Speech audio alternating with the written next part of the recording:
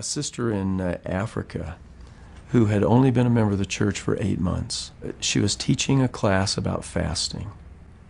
This is in a place in Africa where they're not starving, but they're hungry most of the time. And they would probably have one meal a day, as we understand that. This woman was teaching the sisters in Relief Society, and she said, Sisters, there are many days when we do not have food and we do not eat. That is not fasting. It's only fasting on a day when we have food and we can choose not to eat it.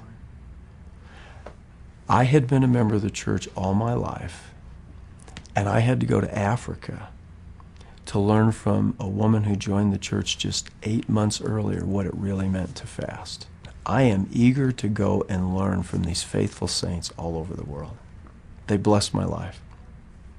A sister in uh, Africa who had only been a member of the church for eight months, she was teaching a class about fasting.